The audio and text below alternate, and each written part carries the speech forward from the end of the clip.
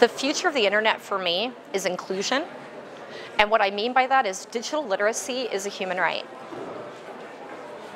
And for me, I think that's part of what the future of the internet is, people who are making meaningful use of it.